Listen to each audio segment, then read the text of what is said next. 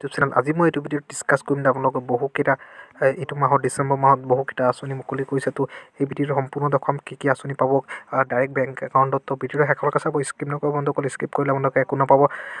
অৰুণোদয় আঁচনি মই কিছুমান আপডেট ক'ম তো এইটো ভিডিঅ' সকলোবোৰ চাব তো এতিয়া এলৈকে ভিডিঅ'টো ছাবস্ক্ৰাইব কৰা নাই ছাবস্ক্ৰাইব কৰি লাইক কৰক আৰু শ্বেয়াৰ কৰিবলৈ পাহৰি নাযাব চাওক অৰুণোদয় আঁচনি মই সকলোবোৰ আপডেট দি থোৱা আছে।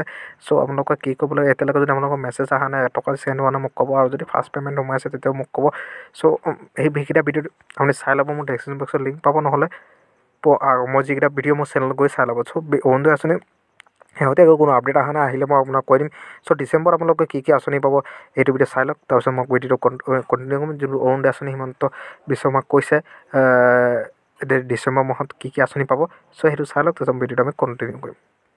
আমাৰ ঘৰৰ ছোৱালী যদি বিয়া হয় আৰু বিয়াখন যদি পঞ্জীয়ন কৰে তেওঁলোকৰ বাবে চল্লিছ হাজাৰ টকা এক তোলা সোণ কিনিবৰ বাবেও আজি আমি মুকলি কৰি দিয়াৰ যি অৰুণধুতি আঁচনি সেই আঁচনিখনো আমি সফলভাৱে ৰূপায়ণ কৰিব পাৰিছোঁ। এই সময়ছোৱাৰ ভিতৰতে মেট্ৰিকত ফাৰ্ষ্ট ডিভিজন পোৱা ছাত্ৰ ছাত্ৰীসকললৈ আমি আনন্দৰাম বৰুৱা বঁটা যোগান ধৰিছোঁ।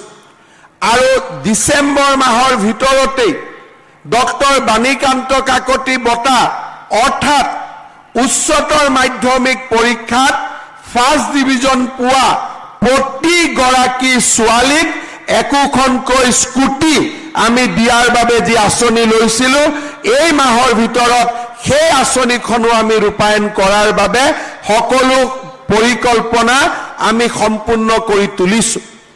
এই মাহৰ ভিতৰতে অসমৰ সাত লাখ বিছ হাজাৰ চাহ শ্ৰমিকৰ বেংক একাউণ্টলৈকে তিনি হাজাৰ টকাকৈ ডিৰেক্ট বেনিফিট অৰ্থাৎ পোনপটীয়াকৈ জমা দিয়াৰ অত্যন্ত সাহসী আঁচনিখনো আমি ৰূপায়ণৰ পথত আগবাঢ়িছোঁ।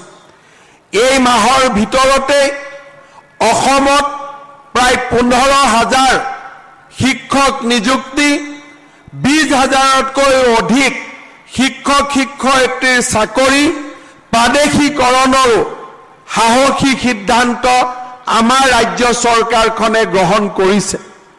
এই সময়ছোৱাৰ ভিতৰতে অসমৰ আঠ হাজাৰ নামঘৰলৈ আঢ়ৈ লাখ টকা কৰি অনুদান আগবঢ়োৱাৰ যি আমি আঁচনি বাজেটত ঘোষণা কৰিছিলোঁ সেই আঁচনি ৰূপায়ণৰ দিশতো আমি আগবাঢ়িছোঁ।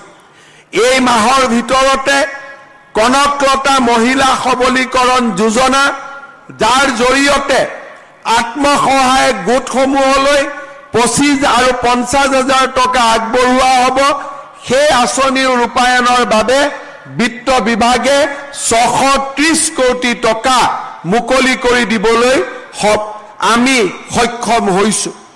এই মাহৰ ভিতৰতে ৰাজ্য চৰকাৰে অসমৰ চাৰিওফালে চাৰি হাজাৰ কিলোমিটাৰ নতুন ৰাস্তা নিৰ্মাণৰো উদ্যোগ হাতত লৈছে।